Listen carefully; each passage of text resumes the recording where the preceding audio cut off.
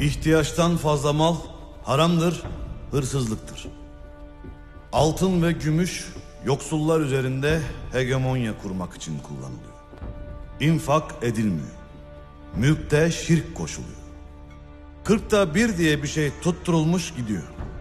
Komşusu açken tok yatmamak için zengin mahallelerine taşınanlar var. Peki sokaktaki açtan, yoksuldan haberiniz var mı? Bu dinin klasik fıkıh anlayışı yeryüzünün sokaklarında aç gezen bir milyar insan için ne diyor? O fıkıh Ömer'i vuranların, Ebu Zer'i çöle gömenlerin, Ali'yi hançerleyenlerin, Hüseyin'i susuz bırakanların, Medine'yi yağmalayarak 900 sahabe kadına tecavüz edenlerin ve Kabe'yi mancılıkla ateşe verenlerin fıkıhıdır.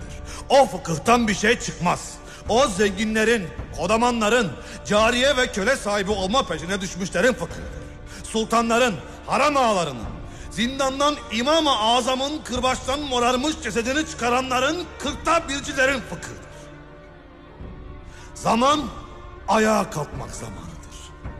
Ebu Zer Gıfari'nin dediği gibi geceyi aç geçirip de kılıcına davranmayanın aklından şüphe ederim.